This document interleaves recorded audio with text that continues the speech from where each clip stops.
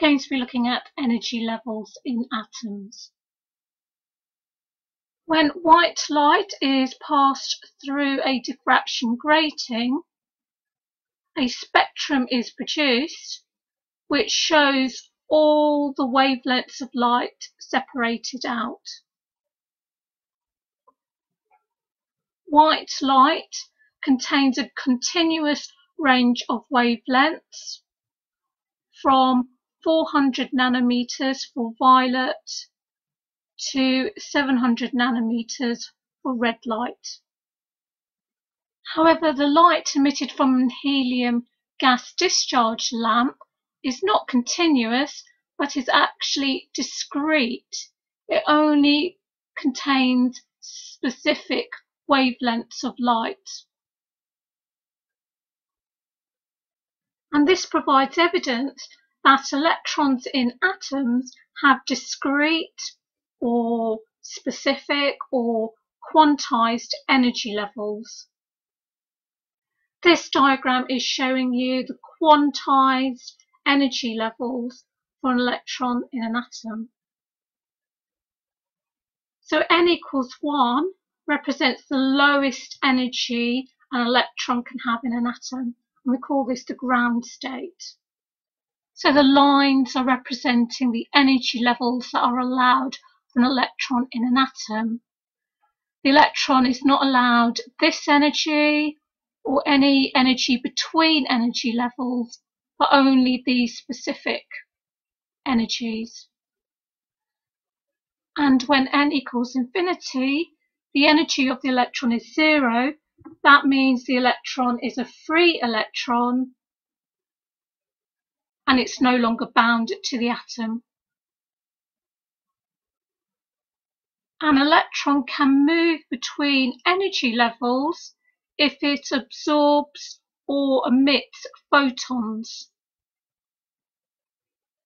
So specific transitions, so that is, for example, n equals 1 to n equals 2, or n equals 2 to n equals 3, or n equals 3 to n equals 2.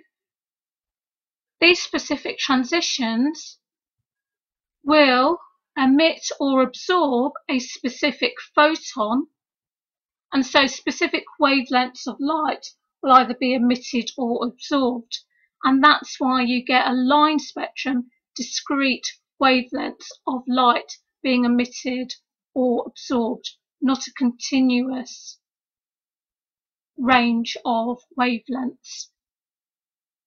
A sodium gas discharge lamp emits two wavelengths of yellow light. For these two wavelengths of light to be emitted, electrons move from a high energy level to a lower energy level, emitting photons of light. So photons of light are emitted when an electron moves from a high energy level to a low energy level. And absorption line spectrum shows dark lines, which shows the absence of colours, because these will be the wavelengths of light that are absorbed by the atom. And this occurs when the electron absorbs a photon and moves from a low energy level to a high energy level and the dark lines of an absorption line spectrum matches the coloured lines for an emission line spectrum and that's because it's representing the same transition of an electron between energy levels but in reverse. So when an electron moves from a high energy level to a low energy level, a photon is emitted and the energy of the photon is given by the difference between the energy levels. So it's the high energy level minus the low energy level will equal the photon that is emitted.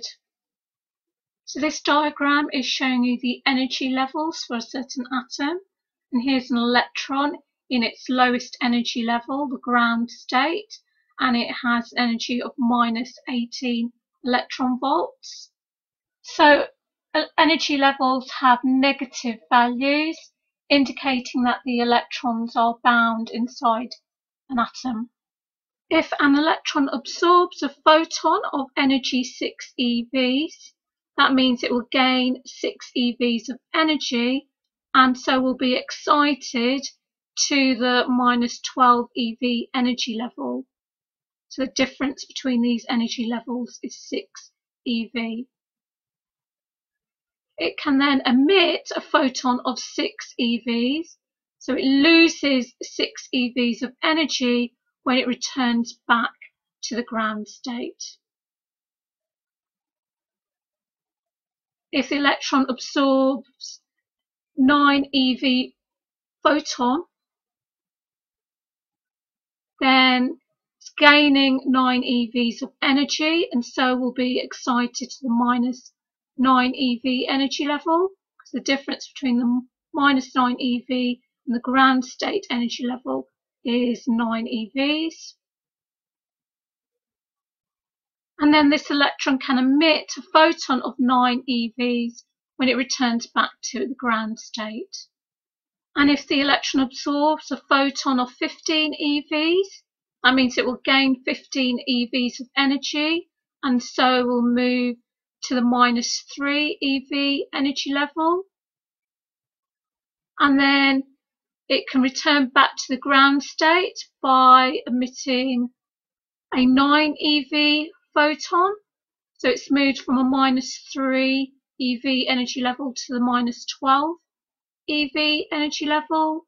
And then it emits a 6 EV photon moving from the minus 12 EV energy level to the minus 18 EV energy level.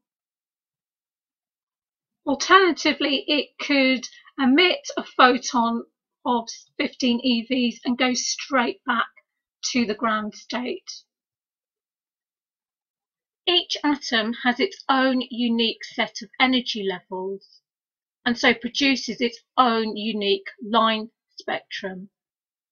So the line spectrum acts like fingerprints to identify which atom produced it. So if you have an unknown spectrum and you are trying to find out which atoms created that spectrum, then you compare the spectral lines with the spectral lines of known atoms.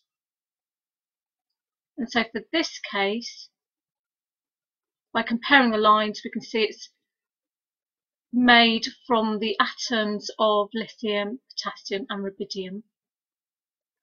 Light from the sun is a continuous spectrum, but it has these dark lines.